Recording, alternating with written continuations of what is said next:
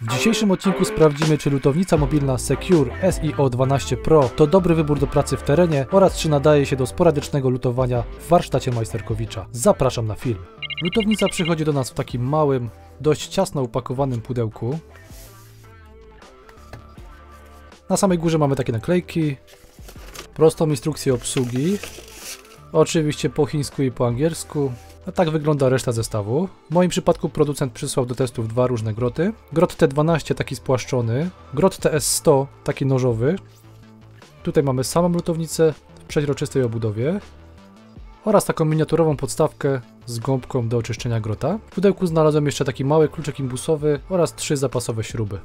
Jest to mała przenośna lutownica o mocy około 68 W, którą możemy zasilać dwojako albo poprzez port USB-C zasilaczem obsługującym Power Delivery 3.0 lub Quick Charge 2.0 albo poprzez standardowe złącze zasilające DC napięciem od 12 do 25 V. Nie trudno zauważyć, że lutownica jest bardzo podobna do produktu Miniware TS100, w rzeczywistości jest to swego rodzaju klon, natomiast posiada kilka zalet w stosunku do swojego pierwowzoru. Przede wszystkim cena zakupu tej lutownicy jest o wiele mniejsza, a co równie ważne, oprócz grotów TS100 obsługuje także groty T12. Dlaczego jest to aż tak duża zaleta, przekona się każdy, kto potrzebował kiedyś kupić zamienne groty do takiej lutownicy. W przypadku TS100, chcąc dokupić groty, musimy się liczyć z wydatkiem około 60 zł i mamy do dyspozycji, z tego co wiem, 11 końcówek. Natomiast jeżeli chodzi o T12, to tutaj groty możemy kupić już poniżej 20 zł i możemy wybierać spośród około 30 różnych końcówek. Obudowa lutownicy wykonana jest z plastiku. Producent twierdzi, że jest on szczególnie odporny na wysokie temperatury. Od przodu w środku znajduje się metalowa obejma z dwoma otworami gwintowanymi, do którego wkręcone są takie małe śrubki imbusowe. Służą one do unieruchomienia grota po jego zamontowaniu. Do tego właśnie jest ten kluczyk oraz te trzy zapasowe śrubki. Następnie tutaj mamy dwa przyciski sterujące. Są to zwykłe mikroswitche z takim czarnym plastikiem. Podczas ruszania obudową trochę grzechoczą. Tutaj jest graficzny wyświetlacz OLED, pokryty folią. Już nie. A z tyłu znajdują się wcześniej wspomniane gniazda zasilające. Obudowa zamknięta jest na takie zatrzaski, nie jest to zbyt trwałe rozwiązanie, także nie polecam jej często rozbierać, ale ten raz możemy spróbować.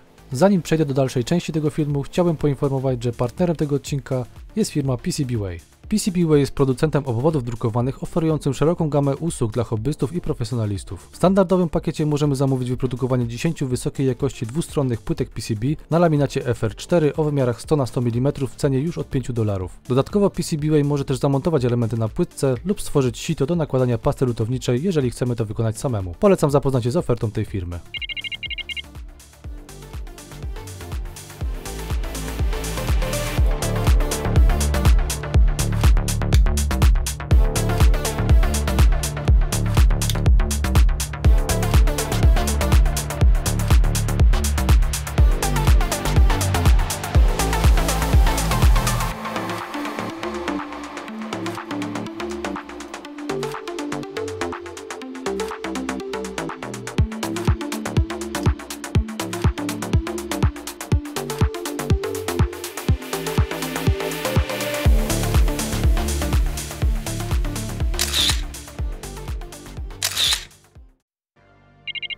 Sprawdźmy sobie najpierw napięcie zasilania.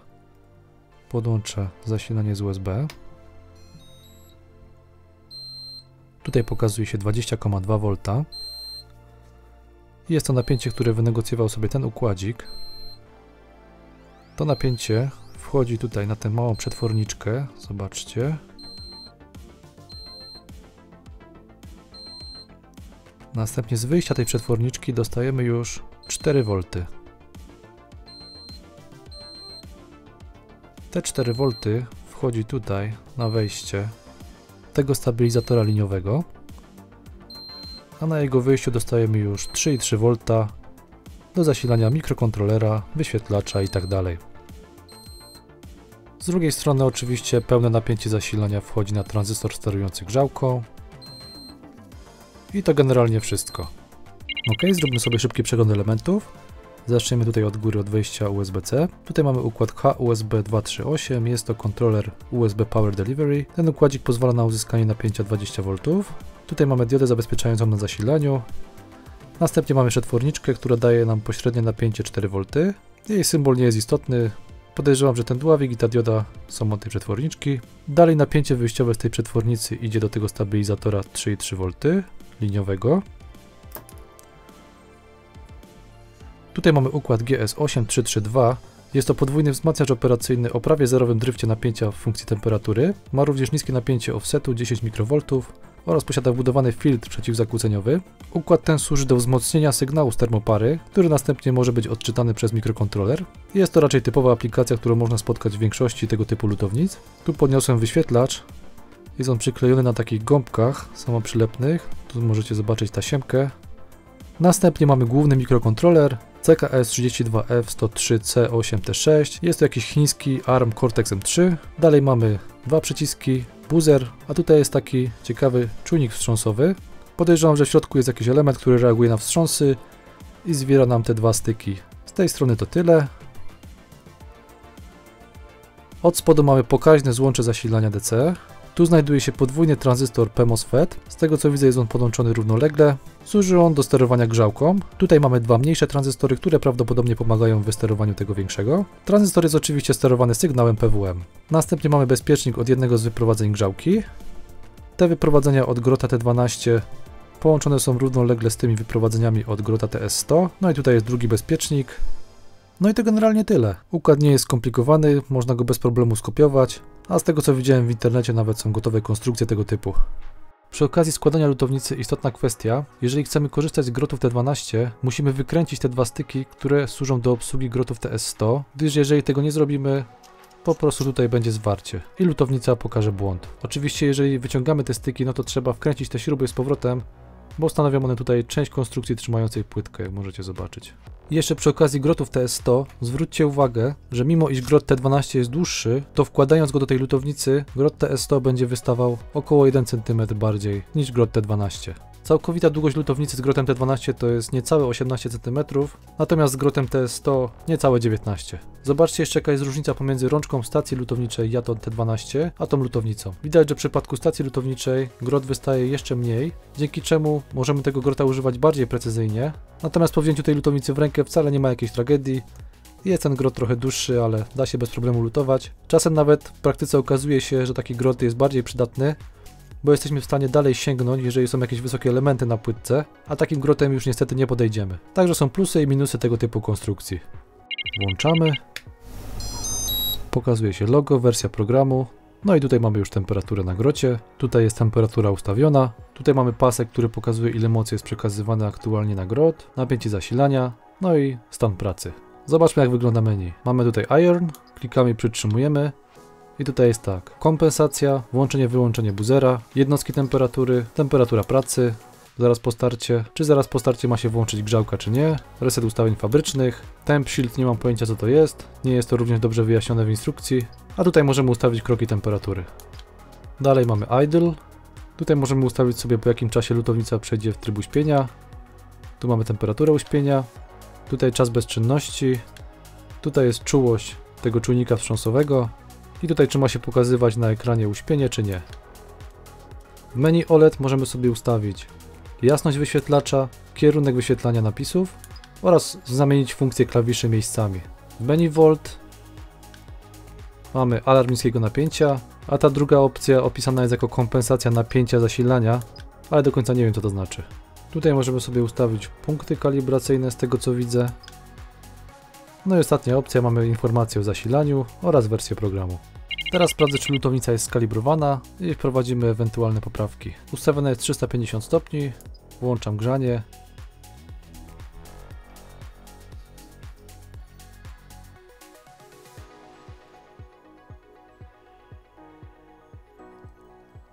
Hmm, stopiła się cena. Spójrzcie, jest 350 stopni osiągnięte. Na termometrze jest około 360. Także zjedziemy sobie o 9 stopni i zobaczymy. Włączamy grzanie z powrotem. No i jest prawie, powiedzmy, na granicy błędu pomiaru. Temperatura jest utrzymywana stabilnie, także tutaj żadnego problemu nie ma. Sprawdzę jeszcze moc maksymalną przy zasilaniu z USB Power Delivery. Powinno być około 45 W. Tutaj ma wskaźnik mocy na kablu, więc posłużę się nim. No i zobaczmy.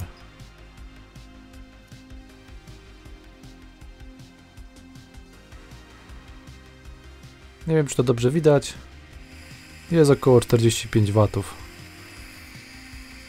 Teraz zmienię źródło zasilania na zasilacz stabilizowany. Maksymalne napięcie, jakie w stanie jest przyjąć ta lutownica to 25 V. Sprawdźmy jeszcze, czy działa zabezpieczenie ponadnapięciowe. Zobaczcie, 26 V. No i jest komunikat za wysokiego napięcia. I sprawdźmy jeszcze zabezpieczenie przed za niskim napięciem zasilania. Ustawione było chyba na 10 V, z tego co pamiętam. No i działa, mamy poniżej 10 V. Lutownica sygnalizuje to alarmem, także jest ok. No więc sprawdźmy jaką osiągniemy moc przy takim napięciu zasilania. Powinno być około 70 W.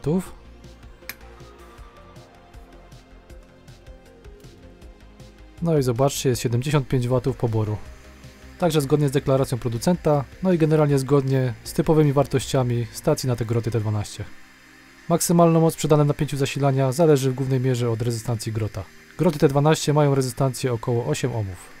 Jeszcze chyba nie wypowiadałem się na temat tej podstawki. Spełniał na swoją funkcję w jakiś tam powiedzmy minimalny sposób. Ta gąbeczka po namoczeniu jest bardzo cienka, nie puchnie tak jak zwykła gąbka z normalnej lutownicy. Materiał z jakiego jest wykonana ta podstawka jest odporny na wysoką temperaturę.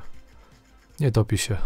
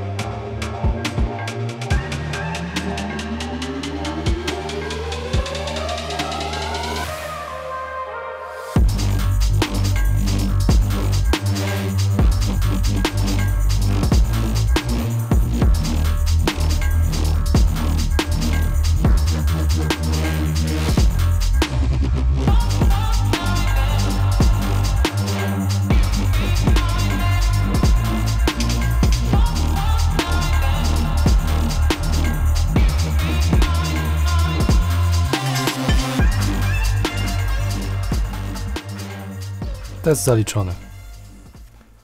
Jeżeli chodzi o plusy tej lutownicy, to z pewnością obsługa grotów T12, których jest bardzo wiele rodzajów i są niedrogie. Bardzo dobra praca przy napięciu zasilania od 12 V, niezbyt wygórowana cena i stosunkowo prosta konstrukcja, która składa się z niewielu elementów, które w razie usterki będziemy w stanie kupić w sklepie i wymienić. Jeżeli chodzi o minusy, to szczerze powiedziawszy ciężko mi się tutaj do czegoś przyczepić, oprócz do faktu, że podczas testów bardzo irytowało mnie korzystanie z tego kluczyka bez przerwy przy każdej wymianie grota. Obudowa jest plastikowa, więc trzeba na nią raczej uważać. Przydałoby się, żeby w standardzie producent dawał jakiś pokrowiec, bo wrzucając tę lutownicę do takiej skrzynki narzędziowej, no jest istnieje ryzyko, że ten wyświetlacz się uszkodzi, porysuje się obudowa i tak dalej. Gdybym otrzymał taką lutownicę na prezent, na pewno bym się nie obraził.